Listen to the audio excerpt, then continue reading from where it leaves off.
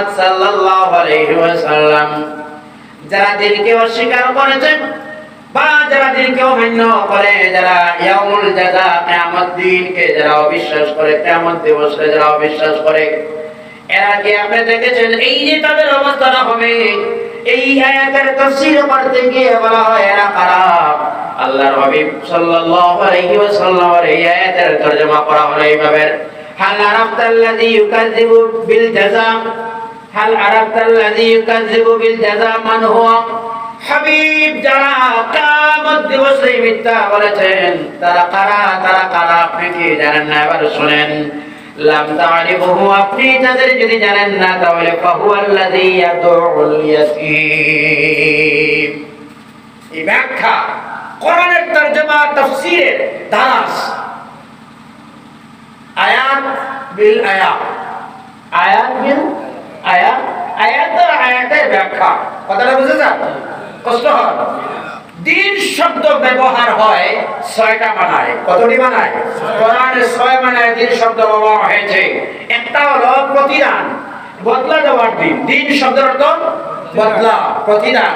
যেমন বলা হয় মালিকি ইয়াম কষ্ট আছে। দিন শব্দের কয়টি অর্থ? ওই যে কাজীব বিদ্দিন আসছে এই জন্য বলছি দিন শব্দের অর্থ ছয়।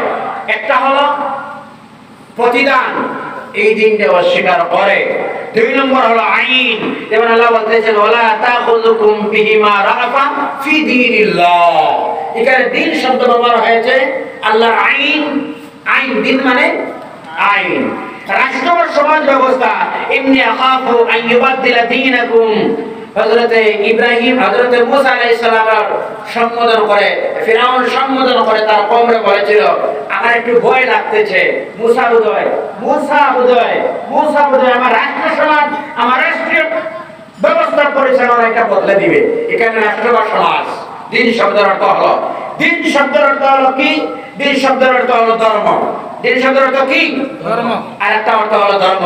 ওমান ইয়ারতাদিদ মিনকুম আন দীনি ফায়ামুত ওয়া হুয়া কাফির। ফাউলাইকা হাবিতাত আমালুহুম। এরা আমল বরবাদ হয়ে গেছে ফিদ দুনিয়া ওয়াল আখিরা। কোরআনে আছে তো? দিন শব্দের অর্থ হলো অনুগত্য করা। যেমন ওমা উমিরু ইল্লা লিয়াবুদুল্লাহ মুখলিসিনা লাহুদ্দিন। দিন শব্দের অর্থ হলো জীবন যাপন ব্যবস্থা। আল্লাহ বলতেছেন ইন্না দ্বীন ইনদাল্লাহিল ইসলাম। সুবহানাল্লাহ বলে যায় না। এজন্য বলি ইসলাম শুধুমাত্র একটি ধর্মের নাম নয়। মনে রাখবেন? কষ্ট লাগে আপনারা? ইসলাম শুধুমাত্র কি একটা ধর্মের নাম? আরও জোরে বলো। ইসলাম শুধুমাত্র ধর্মের নাম নয়। ইসলাম হচ্ছে জীবন যাপন ব্যবস্থার নাম। সুবহানাল্লাহ। ইসলাম শুধুমাত্র আপনারে নামাজ শিখাইছে তা নয় আপনার সামাজিক ব্যবস্থা আপনার প্রতিবেশীর ব্যবস্থা আপনার সমাজ উন্নয়ন রাজনীতি পরিবার নীতি সমাজনীতি অর্থনীতি সবচেয়ে ধর্ম শেখায় সেই ধর্মের নাম কি? ইসলাম। এবার আমরা আলোচনায় যাই। আল্লাহ রাব্বুল আলামিন বলেন হাবিব ওইসব মানুষরা আপনি দেখছেন, যারা দিনকে প্রকাশ্য অস্বীকার করেছে, যারা দিনকে কথা বলুন না কেন? দিনকে যারা অস্বীকার করেছে, তারা দেখছেন আপনি? আল্লাহ রাব্বুল আলামিন বলতেছেন, শোনো, আমার হাবিব দু জাহানের বাদশাহ নবী মুহাম্মদ সাল্লাল্লাহু আলাইহি ওয়াসাল্লাম যারা দিনকে অমান্য স্বীকার করেছে, যারা তাদের পরিচিতি আর তাদের গুণ আর তাদের নীতি, তাদের চরিত্র আজ আমি আপনার সামনে তুলে ধরতেছি। কি গুণ হবে তাদের? যারা দিনকে প্রকাশ্যভাবে অমান্য করেছে, দিন যারা মানে না, যারা ইয়াউমুল জাযা স্বীকার করে, তারা বলে, আমরা মরে গেলাম, আমরা সমুদ্রে ডুবে গেলাম। আমরা যারা গেলাম আমাদেরকে জ্বালানি হলো আমাদেরকে কবরে দেওয়া হলো আমাদেরকে মাছের ভিতরে ঢুকিয়ে দেওয়া হলো। দিন কীভাবে আমাদেরকে আবার আল্লাহ কীভাবে আবার জীবিত করবে? এটা তাদের ধারণা ছিল। মানুষ কবরে গেল মরে গেল পচে গেল সব রকম শেষ কোনো পরিচিত হবে কথা বলি না। মানুষ জ্বালানি হয়। তারপরে তারপরে এই মানুষের আর কোনো পরিচয় আছে? কথাগুলো আছে কোনো পরিচয়? এরা বলেন আবার এখান থেকে আল্লাহ কীভাবে করবেন, জীবিত করবেন? এখান থেকে আল্লাহ। এই জন্য আল্লাহ রাব্বুল আলামিন বলেন, দুনিয়ার মানুষ তোমরা সব তোমাদের মধ্যে সময় ছিল যেই দিন তোমাদের কোনো অস্তিত্বই ছিল না। আল্লাহ রাব্বুল আলামিন বলতেছেন ইনসানি হিনুম মিনাদ দাহরি লাম ইয়াকুন শাইআম মাযকুরা আল্লাহু আকবার। এমন একটা সময় ছিল যেই দিন আপনার আমার কোনো অস্তিত্ব ছিল না আসলে অস্তিত্ব। আপনারা আমার এক পুরা না পাক পানি দ্বারা আল্লাহ সৃষ্টি করলেন। কথা বলো ঠিক না না পাক পানি দ্বারা এই জন্য আল্লাহ রাব্বুল আলামিন বলতেছেন كيف تكفرون بالله وكنتم أمواتا فأحياكم ثم يميتكم ثم إليه ترجعون আল্লাহ রাব্বুল আলামিন বলতেছেন কাইফা কিভাবে তাকফুরুনা বিল্লাহি আমার সঙ্গে তোমরা নাফরমানি করো আমার সঙ্গে। তোমরা তো মুর্দা ছেলে কি জোরে বলো কে ছেলে? মুর্দা। আমি আল্লাহ জিন্দা করেছি। এত সুন্দর হাত দিয়েছেন কে? আর জোরে বলো কে? আল্লাহ। এত সুন্দর চেহারা দিয়েছেন কে? আল্লাহ। আল্লাহ। রাব্বুল আলামিন কোরআনুল কারীমের মধ্যে বলেন এত সুন্দর হাত চোখ মুখ নাক দিলাম তোমার। এত সুন্দর দিলাম। বললাম আমার মসজিদের কিনারা গেলায় ওয়াজ শুনলে না আজান শুনলে না, কি তোমার কান ছিল না? কথা মনে মনে আচ্ছা যদি আল্লাহ কিয়ামতের দিন এই সওয়ালটা করে, যদি এই সওয়ালের কোনো জবাব আছে তো? আর কোনো আছে তো? এই সওয়ালের জবাব দেওয়া যাবে তো? এত সুন্দর চেহারা দিলেন আল্লাহ। এত সুন্দর চেহারা দিলেন আল্লাহ।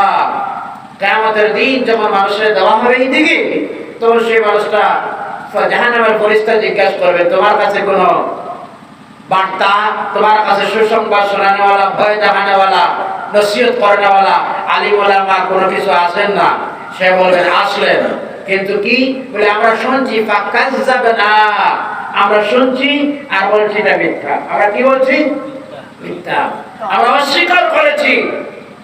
এদিন আফসোস করবে মানুষ বলবে যদি আমরা সেই দিনটার অস্বীকার সেই দিন যদি মানতাম তাহলে আজকে জাহান জাহান্নামী মানুষের সঙ্গে হতাম না। আল্লাহ আল্লাহ রাব্বুল আলামিন বলতেছেন তোমরা কীভাবে আমার সঙ্গে নাফরমানি করো? একটা আমার চিন্তার প্রয়োজন আছে ভাই। আল্লাহ সুবহানাহু ওয়া তাআলা দিলেন এই যে গোশতের হানি আছে তো? আছে তো? আচ্ছা এই গোশত আল্লাহ কার জন্য ব্যবস্থা করে দিলেন? আপনার আমার জন্য।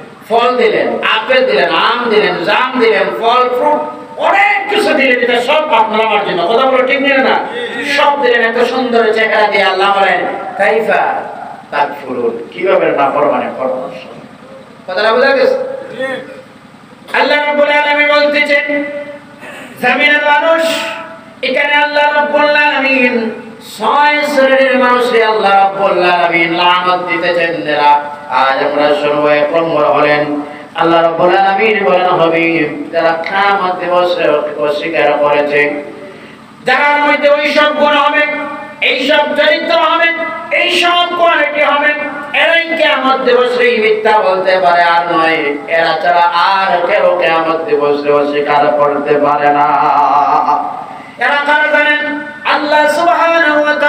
বলতেছেন দুনিয়ার মানুষ, তোমরা শুনো তাদের চরিত্র আমি তুলে দিলাম কোরআনের মধ্যে।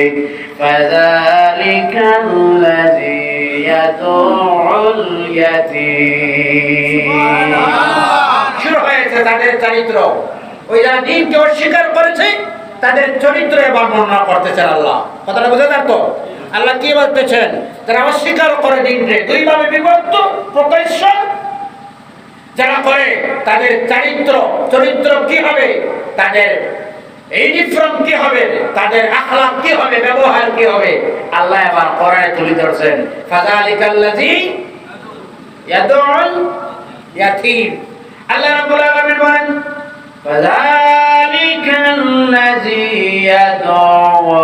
ইয়াতীম। তার মানে হলো এইসব মানুষ যারা দিনকে অস্বীকার করেছেন নবান্য করেছেন জাজারে যারা অস্বীকার করেছে তাদের প্রথম বৈশিষ্ট্যটা হবে এরা কি করবে? তাদের প্রথম চরিত্রটা হলো তারা এতিমদের গর্দরে ধাক্কা মারি তারা বাহিরে করে দিবে। কি করবে এরা? এতিমের গর্দনায় ধরে ধাক্কা মারি বাহিরে করে দিবে। সেই যুগটা তো ওই যুগ ছিল, যেই যুগে মানুষ এতিম হলে তাকে সত্যিই যে সম্মান সমাজে অবহেলা করা হতো। কথা বলো ঠিক না না? সত্যিই তো অবহেলিত মানুষ। ওই মানুষটা যে মানুষের বাবা নাই, মা নাই, এতিম। কথাটা বুঝা গেছে? এই জন্য আল্লাহ রাব্বুল আলামিন কোরআনুল কারীমের মধ্যে মহান আল্লাহ রাব্বুল আলামিন বলতেছেন আল্লাহ রাব্বুল আলামিন এতিমদের পক্ষে আল্লাহ কোরআনের মধ্যে কি বলতেছেন এবার শুনেন فأما اليتيم فلا تقهر وأما السائل فلا تنهر প্রায় সময় আমরা কাছে মানুষ যখন আয় সওয়াল করে। সওয়াল করেই না না। একটু টাকা দাও, একটু পয়সা দাও। আমি এতিম, আমি মিসকিন, আমি ফকির মানুষ। চাইনি না না, আমরা তারে জিড়িক দিই, কুদাম দিই, তারে ব্যবহার খারাপ করে। চলে যাও! ঠিক না না কথা বলো, ঠিক না না আমরা এই ধরনের করি। খুচরা টাকা নাই বলে। ঠিক তো? এইভাবে তাহলে আমরা অবহেলা করি, তাহলে আমরা লাঞ্ছিত করি। একজন এতিম বাচ্চারে কোনোদিন বেকার করবে না। আল্লাহ রাব্বুল আলামিন এতিমদের পক্ষ করে আল্লাহ বলতেছেন এই জমিনের মধ্যে যদি কোনো মানুষ রিজেক চায় তাহলে এই জমিনের মধ্যে শান্তিতে থাকতে চায় তাহলে এতিমের সঙ্গে যেন বাবা ভালো ব্যবহার করে সুবহানাল্লাহ। এজন্য আল্লাহ রাসূল বললেন এই খানিটা ওই অলিমাটা সবচেয়ে ভালো হলো। অলিমা বুঝেন তো আপনারা? কোনটা অলিমা? চল্লিশ আর সিন্নির নাম অলিমা। কোনটা? বিবাহের অলিমা ঠিক না। বিবাহের খুশিতে পরের দিন যে খানা হয় সেই খানির নাম হল অলিমা ঠিক যেটা আল্লাহর নবী বললেন, ওই জমিনে সবচেয়ে ভালো ওই হলো ওই অলিমা যে অলিমার মধ্যে এতিমদের শামিল এতিমরা শামিল আছে। আমার ভাইয়েরা, আজ আমরা পেশন হয়ে পেশন পেশন করতেছি, আমরা স্ট্যান্ডার্ড হয়ে গেছি, ঠিক না আজ আমরা হোটেলে বিবাহ হয়, বিবাহ ভবনে বিবাহ হয়, কথা বলো ঠিক না না? যেখানে দাওয়াত দেওয়া হয় না এতিবার আর গরিব আর বিধবার, ফকির মিসকিন কে বলো কথা ঠিক না না? বাইরে আমার সেবা এতিমদের সঙ্গে ভালো ব্যবহার শুধুমাত্র এরা এতিমের গর্দনায় ধাক্কা মারি বাইরে করে দিতে পারবে। তারা কেয়ামত দিবসে অস্বীকার করেছে, কথাগুলো ঠিক না না এতিমের সঙ্গে ভালো ব্যবহার করতেই হবে। আল্লাহ নবী সাল্লাল্লাহু আলাইহি ওয়াসাল্লাম বললেন, কোন মানুষ যদি এতিমকে মহব্বত করে আর পছন্দ করে, তার মাথার মধ্যে যদি এতিমের মাথার মধ্যে যদি হাতটা এইভাবে ডাক দেয়। আল্লাহর নবী বললেন হাতের নিচে রুম ঢুকবে ওই পরিমাণ আল্লাহ নামা বলার মধ্যে আপনার আমার সওয়াব দিবে। আল্লাহ নবী বললেন এতিম মানুষে তোমরা গালি দিও না। এতিমের সঙ্গে ভালো ব্যবহার করো। এতিম যখন তোমার কাছে আসবে তার সঙ্গে তুমি বাবা বলে সম্বোধন করো, তার মহব্বত করো, তার আদর করো।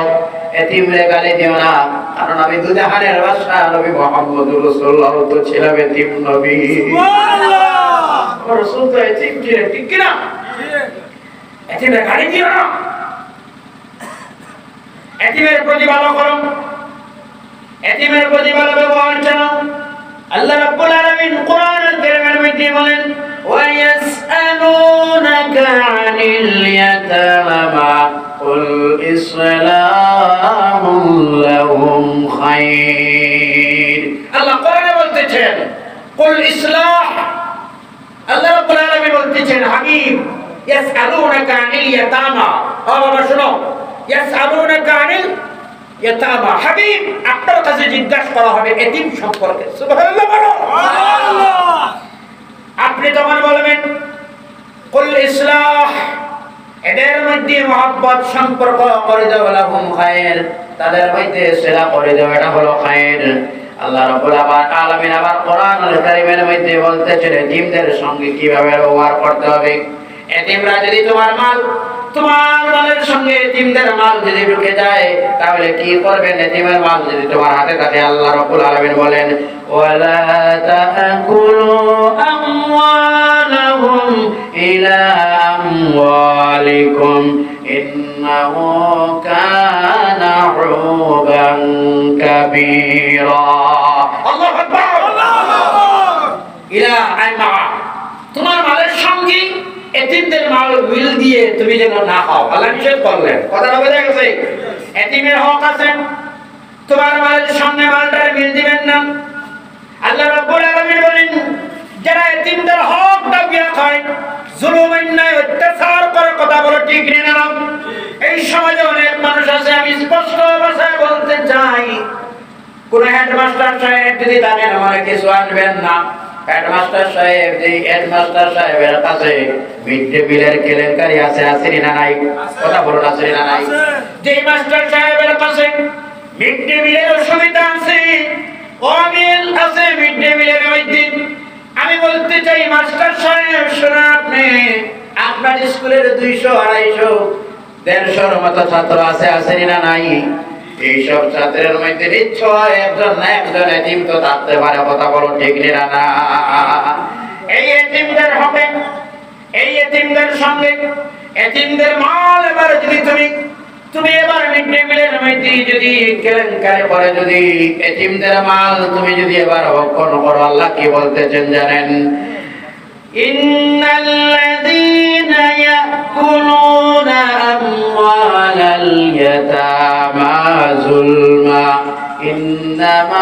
يأكلون في بطونهم نارا الله أكبر যারা অন্যায় ভাবে এতিমের হক ডাবে যারা এতিমের হক খায় অন্যায় ভাবে জুলুম অত্যাচার করে আল্লাহ কোরআনে বললেন এরা খালি খাইতেছে না এরা করে টাইস লাগাইতেছে না এরা বিল্ডিং করতেছে তা নয় এরা ভালো কচির গুস্তার মাছ, এরা খাইতেছে সকালের বেলা। এরা নয়, এরা পেটে তারা ইন্নামা ইয়াকুলুনা ফি বুতুনিহিম তাদের পেটে আগুন ঢুকাইতেছে। কি ঢুকাইতেছে? কথাটা বুঝা গেছে বাবাজি? আগুন ঢুকাইতেছে। আল্লাহ নবী বললেন সত্যিটা ভালো মানুষ কারা জানেন? এই জমিনের নিচে জমিনের উপর আসমানের নিচ। আল্লাহ রাব্বুল আলামিন এই জমিনের মধ্যে আসমানের নিচে, আর জমিনের উপর আল্লাহর হাবিব বললেন সব থেকে ভালো ওই ঘরটা উত্তম ঘর, এটা হয়। মনে রাখবেন কথাটা। মনে রাখবেন কথাটা। ওই ঘরটা হলো সব থেকে ভালো ঘর। যেই ঘরের মধ্যে তিন আছে, তিনের সঙ্গে ভালো ব্যবহার করা হয়। আল্লাহর নবী বলেন সব থেকে ভালো ঘর, ওই ঘরে দেখুন এতিমের ভালো লালন পালন হয়, আর ভালো ব্যবহার করা হয়। করে ভাবেন আমরা সমাজের মধ্যে সমাজের মধ্যে আমরা আজ আজ সমাজের মধ্যে কোন অবস্থাকে পৌঁছে গেলাম। আপনার আমার অনেক টাকা আছে পয়সা আছে আছে না নাই? আছে পয়সা আমার টাকা আমার। আর পাশে গরিব মিসকিন অসহায় এতিম আছে আছে না নাই? কথা বলব আছে না নাই? আছে। না নাই? কোন বড় যোগ দিয়েছিলাম আপনার ঘরে গোস্ত রান্না হবে। আর গোস্তের সেন্ট বাহির হবে। আর পাশের ঘরে এতিম আছে। সে বলে সে যদি আমার মনে ভাবে যদি আমার আব্বু থাকতেন তাহলে লেখা করে যেমন আজ রান্না হতে ছিঁড়ে আমার ঘরে ওইভাবে রান্না হতো কথা বলো ঠিক ঠিক আছে এ কথা মনে মনে চিন্তা করবেন আর যদি আপনার বাচ্চাদের আপনার মনে কেমন আঘাত লাগতো? কথা ঠিক আপনার বাচ্চা যখন এই দিন ভালো লিবাস পরিধান করেন যে ভালো জামা লাগিয়ে যখন ঘর থেকে বাইরে হয়? আল্লাহ রাব্বুল এই পয়সায় টাকা পয়সা দেওয়ার কারণে ভালো লিবাস লাগাই আপনার সন্তান ঘর থেকে রওনা দিল। এই সন্তান ঘর থেকে যখন বাড়ায় ঘর থেকে সন্তান বাইরে হয় ভালো লিবাস লাগাইয়া। কিনারার মধ্যে ছিলেন তিন বাচ্চা, তার গায়ে ফাটালে বাস কথা বলো ঠিক নিরালা কথা বলো ঠিক নিরালা আক্ষেপ যদি মনের মধ্যে আসেন, আল্লাহ রাব্বুল আলামিন মধ্যে আল্লাহ, সূরা মুজাম্মিলের মধ্যে বুঝায় আল্লাহ রাব্বুল আলামিন বলতেছেন, এই যখন হবে আল্লাহ রাব্বুল এক শ্রেণির মানুষই যখন মহান আল্লাহ রাব্বুল আলামিন জাহান্নামের দিকে যখন ধাবিত করবেন, জাহান্নামের দিকে যখন মানুষরা এবার দেওয়া শুরু করবেন, মুজাম্মিল মুদাসসির কুদরাতে আছে, জাহান্নামের মধ্যে যখন দেওয়া আরম্ভ করবেন, তখন আল্লাহ রাব্বুল আলামিন তার ফেরেশতারা জিজ্ঞাসা করবেন, ও আল্লাহর গোলাম, কেন তুমি আজ জাহান্নামের মধ্যে আসতেছ? এই জাহান্নামের মধ্যে আসার কারণ কি? ইয়াতাসাআলুনা